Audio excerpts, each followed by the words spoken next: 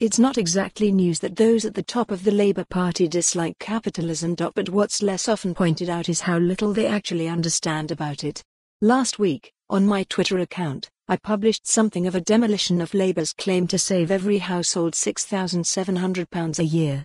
After only a cursory look at the figures, I was able to show that every single aspect of the party's calculations was either partially or wholly inaccurate, ranging from the conjuring up of an average household in which two people bought £3,000 rail season tickets. Despite how it feels in London, only 11% of us actually commute by train to citing a paper on the benefits to consumers of renationalisation which did not actually address the topic. I was complaining to a friend about the sheer gall involved in producing such a document. I'd have used chutzpah, but that doesn't really feel appropriate with the modern Labour Party.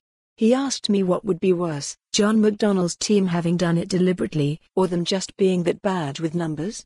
And that gave me pause. Because it reminded me of something that happened last year.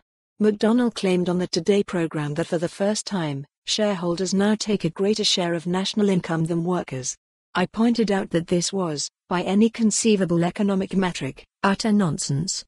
When pushed, McDonnell's team provided the following justification. According to the latest statistics, the amount of national income going towards wages, the labor share of GDP, had dipped below half. This meant that the rest must be going to those evil shareholders. The McDonnell model of the corporate economy, in other words, consisted purely of wages and profits slash dividends.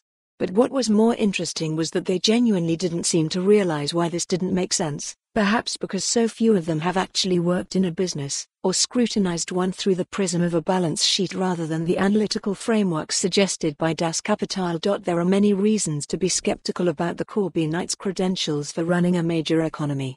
But it's not just the details of their proposals, the colossal spending and borrowing, the seizing of assets at below market price, the way in which they would almost certainly make us all poorer, that are cause for concern. Fundamentally, it's because their policy platform derives from a worldview in which capitalism and markets are things done to people rather than by them, and ultimately for them. In Jeremy Corbyn's gushing foreword to a reprinted edition of Imperialism by J. A. Hobson, a book which, incidentally, contains shocking anti Semitic stereotyping about Jewish financiers, the now Labour leader claims that free market capitalism cannot provide for everyone or sustain the natural world. It's very imperative as if ever has for more on this story, visit the news article link.